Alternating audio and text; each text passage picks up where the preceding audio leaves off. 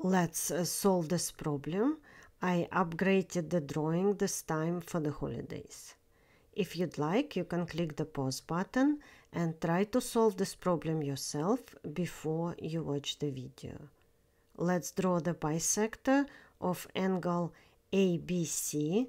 The centers of both circles will lay on the bisector because the sides of the triangle are equidistant from the center of a circle. Triangle ABC is an isosceles triangle. BM is also the median and the altitude. AM is equal to MC and equals to 6. Let's connect point C to point Q. CQ is the bisector of angle FCM because the center of the circle inscribed in a triangle is the point where the angle bisectors of the triangle intersect. Let's connect point C to point O.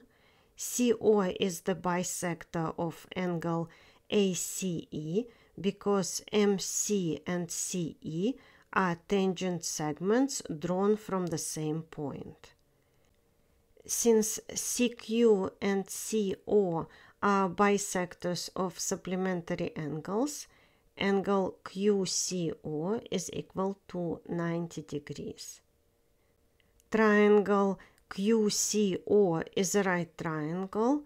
MC is the altitude drawn from the right angle to the hypotenuse, which divides the hypotenuse into two segments. The length of the altitude is the geometric mean of the two hypotenuse segments.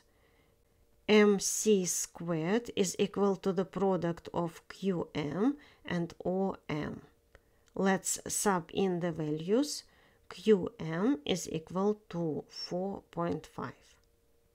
Thank you for watching. If you found this video helpful, please consider to subscribe to help my channel grow.